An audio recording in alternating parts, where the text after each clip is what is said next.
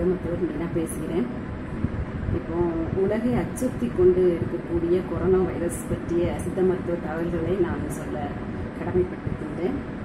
Corona virus என்பது covid nineteen என்று சொல்லப்படுகிற வைரஸானது ஆயிரத்தி தொள்ளாயிரத்தி ஐம்பதுலேயே உலகிற்கு பட்சமாகிவிட்டது அப்பொழுது எறும்பு திணி வவால்கள் போன்ற மிருகங்களுக்கு மட்டும்தான் பரவி இருந்தது இ- அதன் பிறகு படிப்படியாக எந்த விதமான நோயுமே இல்லாமல் இருந்தது. தற்போது இரண்டாயிரத்தி பத்தொம்போது டிசம்பரில் மனிதனுக்கு பரவ ஆரம்பித்திருக்கிறது. அந்த கொரோனா வைரஸோட அதோட வகை தான் இதுவும் ஆனால் இந்த வைரஸ் வந்து ரொம்ப ஸ்ட்ராங்காக ஸ்ட்ரெயின் ஆகி ஸ்ட்ரெயின் செய்யப்பட்டது. அதாவது கொரோனா வைரஸ் வந்து ரொம்ப கொடிய வகையான வைரஸாக இப்போது உள்ள வைரஸ் இருக்கிறது. அது ஒரு ஒருத்தர் ஒருத்தர்கிட்ட இருந்து மற்றவர்களுக்கு மிக விரைவாக தொற்றக்கூடிய அளவு இருக்கக்கூடிய ஒரு தொற்று நோயாக உள்ளது. அந்த கொரோனா வைரஸ் வந்து நம்மளை பா பாதிக்காமல் இருக்கிறதுக்கு நாம் முதல்ல என்ன செய்யணும்? ப்ரிவென்ஷன் இஸ் பெட்டர் தென் க்யூர்னு சொல்லுவாங்க கேள்விப்பட்டிருக்கீங்க. முதல்ல வந்து நம்மளை நாமே த பாதுகாப்பு படுத்தி கொள்ள வேண்டும். அதுதான் முதல் மருந்து. இதுக்கு கொரோனா வைரஸ்க்கு வந்து இதுவரைக்கும் மருந்து கண்டுபிடிக்கப்படவில்லை. அப்போ நம்ம என்ன பண்ணணும்னா ரொம்ப பாதுகாப்பாக இருக்கணும். ஸோ சித்த மருத்துவத்தில் வந்து பாதுகாப்பு முறை பற்றி நான் கொஞ்சம் விளக்கம் தருகிறேன். முதல்ல வந்து நம்ம வந்து செல்ஃப் குவாரண்டைன் அதாவது நம்ம நாமே தனிமைப்படுத்திக் கொள்ளக்கூடிய சூழ்நிலையை உருவாக்கி கொள்ளணும் அதற்காகவே அரசாங்கம் என்ன பண்ணியிருக்காங்க அப்படின்னா நூற்றி நாற்பத்தி நாலு தடை உத்தரவு போட்டு நம்ம அனைவரையும் வீட்டில் வந்து தற்பாதுகாத்து கொள்ள வேண்டிய இதை சொல்லி கொடுத்துருக்காங்க. நாம் எல்லாரும் அனைவரும் வீட்டுக்குள்ளே தான் இருக்கோம். அது ஒரு பாயிண்ட் ரெண்டாவது நாம் வெளியே போகாமல் இருக்க முடியாதுங்கிற சூழ்நிலை வரும்போது வெளியே போயிட்டு வர்றோம்.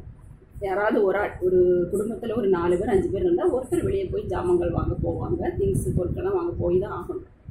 ஒரு ஒரு வாரத்துக்கு ஒருக்கையோ அல்லது பத்து நாட்களுக்கு ஒருக்கையோ தேவைப்படும் போது வாங்கிக்கிட வேண்டியதான் அதற்காக தினமும் வெளியில் போக வேண்டிய சூழ்நிலை நம்ம உருவாக்கி கொள்ள வேண்டாம். அடுத்தது அப்படி வெளியில் போயிட்டு வரக்கூடியவர்கள் என்ன பண்ண வேண்டும் என்று சொன்னால் கால்களை முகத்தையும் சுத்தமாக கழுவ வேண்டும் அல்லது வெளியில் போயிட்டு வந்த உடனே நல்ல சோப்பு போட்டு மேலுக்கு அல்லது தலைக்கு குளிச்சுறது ரொம்ப நல்லது.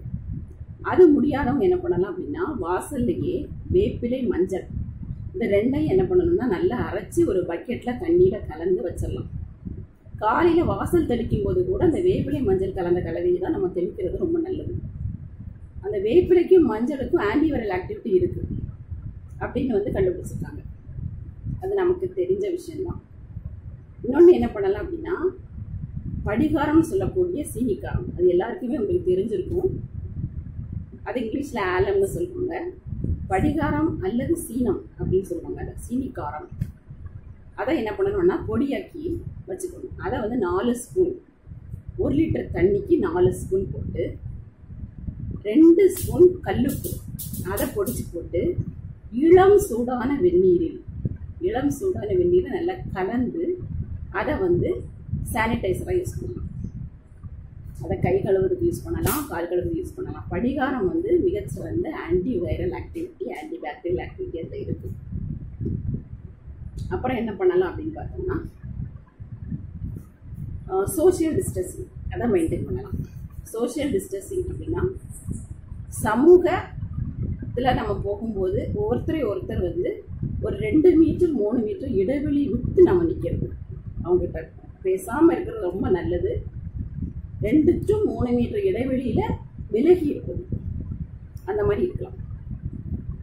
அதன் பிறகு நண்பர்களை வீட்டுக்கு அழைப்பது அவர்கள் வீட்டுக்கு நாம் போவதை தவிர்க்கணும் வீட்டில் இருக்கும் பெண்மணிகள் வந்து அடிக்கடி குழந்தைகள்னாலும் சரிதான் அடிக்கடி ஒரு இரண்டு மணி நேரத்துக்கு ஒரு வரை கைகளை சோப்பு போட்டு கழுவலாம் அல்லது சவுக்காரம் அல்லது படிகாரம் தண்ணிகளை கைகளை அழுவது மிகவும் நல்லது பிறகு என்ன பண்ணலாம் அப்படின்னா சித்த மருத்துவத்தில் ஆயுஷ் அமைச்சரம் கபசுர குடிநீர் என்று ஒரு கஷாயம். அதை வந்து எதிர்ப்பு சக்தியை மேம்படுத்துவதற்காக அதை பரிந்துரை செய்துள்ளது. கொரோனாவை குணப்பம் குணமாக்கக்கூடிய ஒரு கஷாயம் என்று நினைத்து கொண்டிருக்க வேண்டாம்.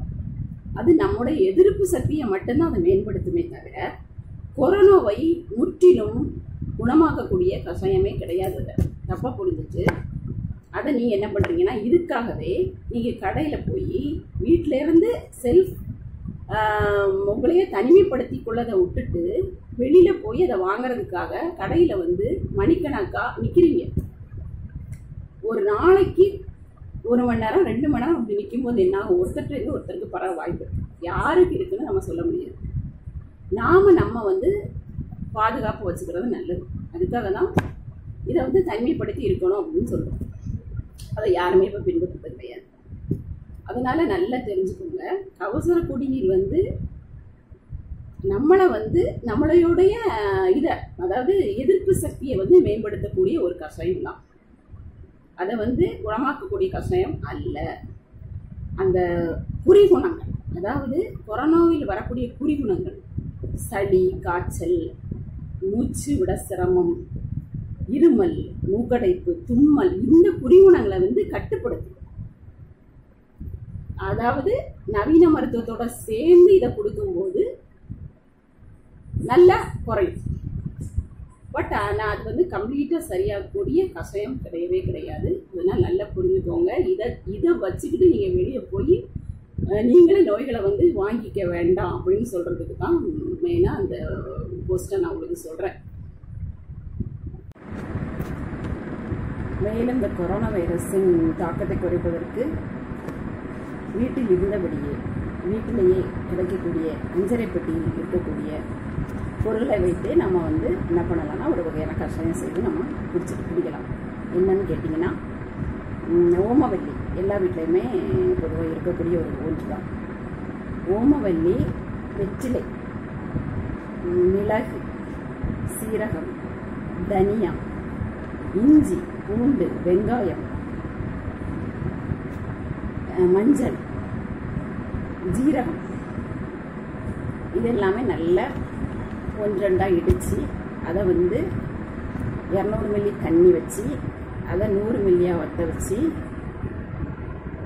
அதை வந்து அதில் பனங்கற்கண்டு போட்டு பனங்கற்கண்டோ பனங்கருப்பட்டியோ போட்டு குழந்தைகளுக்கு வந்து ஒரு முப்பது மில்லியும் பெரியவளுக்கு ஒரு அறுபது மில்லியும் கொடுக்கலாம். கபசுர குடிநீர் கூட மிகச் சிறந்த ஒரு மருந்து தான் இல்லைன்னு சொல்ல முடியாது.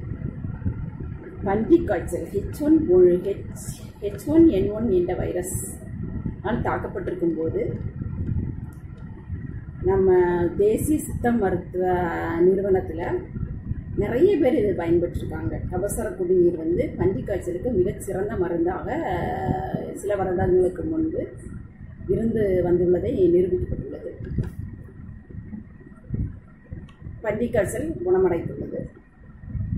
இப்பொழுது இதை வந்து எதிர்ப்பு சக்தியை கூட்டுறதுக்காக நம்ம எடுத்துக்கலாம். தப்பே கிடையாது. இது மிகச்சிறந்த ஒரு மருந்து தான் இதனால் எந்த விதமான பாதிப்பும் நமக்கு வராது. ரொம்ப நல்லது உடம்புக்கு. ஆனால் இதுக்காக நீங்கள் வந்து வெளியே போய் மற்றவங்கள்ட்டேருந்து நீங்கள் வியாதியை வாங்கிட்டு வர வேண்டாங்கிறது தான் என்னோட ஒரு அறிவுரை. வேற ஒன்றும் இல்லை. அப்புறம் வேற என்ன பண்ணலாம்? முகமூடிக்கு முகமூடி அதாவது மாஸ்க் போடுறதுக்காக நிறைய பேர் போட்டி போட்டுட்டு மாஸ்க்கை வாங்க போறீங்க. அது ஒரு விஷயம். அதுக்கு என்ன பண்ணலாம் அப்படின்னா வீட்டிலையே ஒரு வெள்ளை துணி அதை எடுத்துக்கோங்க. எடுத்துட்டு மஞ்சள் இருக்கு இல்லையா? மஞ்சள் பொடி. அதை வந்து ஒரு இளஞ்சூடான தண்ணியில் போட்டு அந்த வெள்ளை துணியை வந்து முக்கி அதில் வந்து நம்ம வீட்டில் ஊசி வச்சோ அல்லது தையல் மிஷின்லேயோ வச்சு ரெண்டு பக்கமும் அடித்து எலாஸ்டிக் போட்டு அது முகத்தில் வந்து நம்ம போட்டுக்கலாம். அந்த மாதிரி பண்ணலாம். இதுக்காக நம்ம வந்து வெளியே போய் அதை போய் வாங்கணுங்கிற அவசியம் கிடையாது. ஏன் முகம் கவசம் கூட யார் யார் போட்டுக்கணும் அப்படின்னு சொன்னோன்னா எல்லாரும் போடணுங்கிறது இல்லை பாதிப்படைந்தவர்கள் மட்டும் போட்டால் போதும். பாதிப்படையாதவர்கள் வந்து அது தேவைப்படலை. தேவைப்படாது. அதற்காக போய் அதை வரிசையில் நின்று ஆர்டர் பண்ணி வாங்க வேண்டிய அவசியம் இல்லை என்பதை சொல்லி வருகிறேன்